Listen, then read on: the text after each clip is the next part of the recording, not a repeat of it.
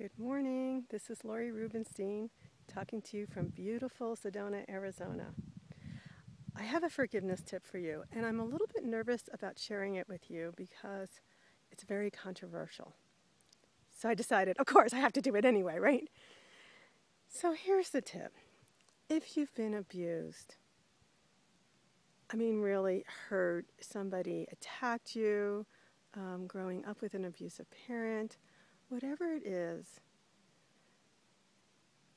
you don't want to keep that hatred inside of you. You want to concentrate on the gift of that abuse. And doesn't that sound crazy? That's why I didn't want to talk about this. There is a gift in every single thing that happens to us. I've learned that working with people over the years.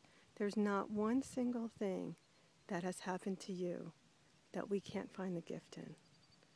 And the gift is really becoming who you are today. It's not necessarily as a result of the abuse, but it's a result of who, how you stick up for yourself, how you learn self love, how you get over the abuse. That's the gift. So it's just something to think about. Okay, many blessings to you. I hope you have a wonderful, beautiful day. Take care. Bye bye.